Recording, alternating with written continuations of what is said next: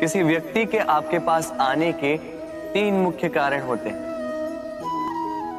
भाव, अभाव और प्रभाव। यदि कोई आपके पास प्रेम भाव से आए तो उसे प्रेम दे, सम्मान दे। यदि कोई आपके पास अभाव में आए तो उसकी आवश्यकता समझे और जितना हो सके, स्वयं से उसकी सहायता करें। और यदि कोई आपके पास प्रभाव के कारण आए तो भी उसे समुचित सम्मान दे। स्वयं को भाग्यशाली समझे कि कोई आपके प्रभाव में। किंतु तिरस्कार तिरस्कार कभी ना। तिरस्कार जन्म देता है कुंठा को। और कुंठा किसी को भी आपका शत्रु बना देती इसीलिए मित्र बनाए, आनंद ले। और मेरे साथ कहें।